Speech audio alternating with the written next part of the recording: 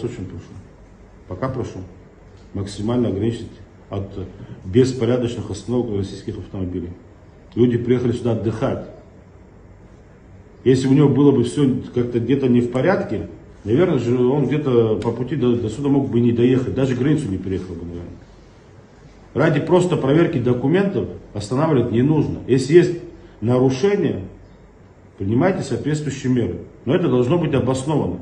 Чтобы не было никаких жалоб в мой адрес относительно того, что идут поборы, идут непонятные какие-то вещи, чтобы даже пускай представляются правильно. Это лицо нашего государства, лицо нашего народа.